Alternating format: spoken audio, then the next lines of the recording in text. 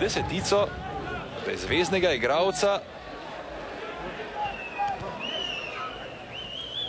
Prekršek nad Radujkom, Tomažiča Šeruge.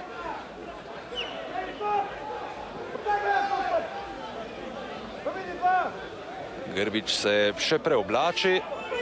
Videl je, da vendarle ni tako mraz in je odvrgal spodnjo majico.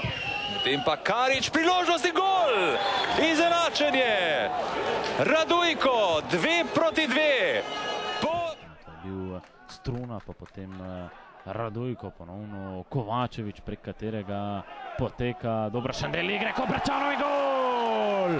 Ena proti nič, Koper vodi v zadnji 45 minuti. Strelec pa Mitja Brulc, potem ko se je žoga odbila tudi od enega izmed interblokovih branilcev in na napačni nogi ujela Matjaža Rozmana. Takole še enkrat kombinacija, tole je proti vratom ustrelil, ne Brulce je tisti, ki se je dotaknil tole žoge. Da, Mitja Brulc, sprva sem mislil, da se je žoga dotaknila. Odločil za podajo v sredino, v kazanskem prostoru Interbloka, kar šest nogometašev Kopra. Karič, priložnost in gol! Ena proti nič za Koparčane. Kdo je zadev, to bomo kmalu videli. Zares lepa podaja in potem natančen strel, veselijo se navijači Kopra. Torej, uspešen je bil Radojko. Radojko je bil tisti, ki je izkoristil natančno podajo Kariča in potem zares natančnim strelom v zgornji desni kot premagal Matjaža Rozmana. V 65 minuti, torej nič proti ena, Radojko je bil tisti, ki je zatresel Ljubljano. Koperčanov za Olimpijo, dober predložek, ponovno Kariča in Koper vodi. Koper vodi, tako kot sem dejal, strelec je mislim, da Radujko. Radujko je zadev z glavo, tako kot sem rekel, prekinitve so seveda priložnost Kopra, kajti Karič je v tem elementu odličen, tudi tokrat je to dokazal, precej zmede v obrambi Kopra, Radujko je bil potem na petih metrih povsem sam in brez težav je premagal mladega Jana Oblaka.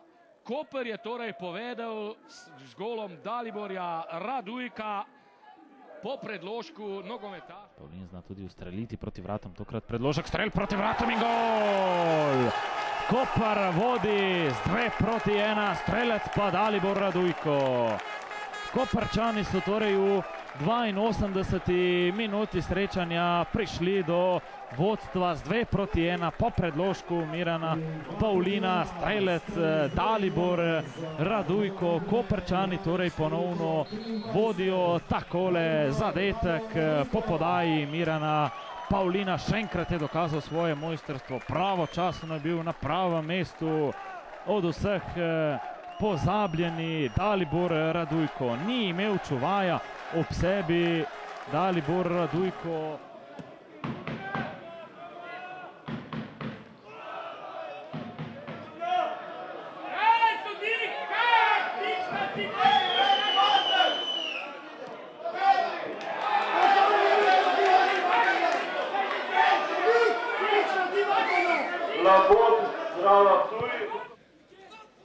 Dober predložek, ponovno Pavlina.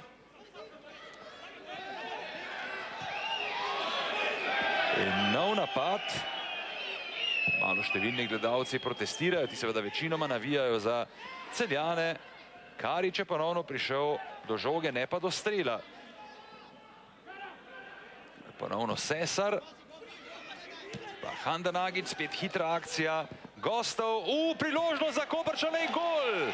Ena proti nič v 16. minuti, strelec pa lahko rečemo pravi specialist za gole, tu Aleksandar Rajčevič, branilec, ki se je povsem sam znašel pred Mujčinovičem, torej v 16. minuti so gostje povedli to, kar se je napovedovalo v zadnjih minutah, silovit pritisk Koprčanov, hitra akcija, žoga je dobro potovala, pogledajte to, hitro zvito podajo Pavlina In povsem sam je bil centralni branilec Aleksandar Rajčevič pred golom Amela Mojčinoviča. Tudi to priča o kakovosti Koprčanov in ne preveč dobro organizirani obrambi Celjanov. Radujko je bil tisti, ki je podal, Dalibor Radujko, zvezdni igralec Koprčanov.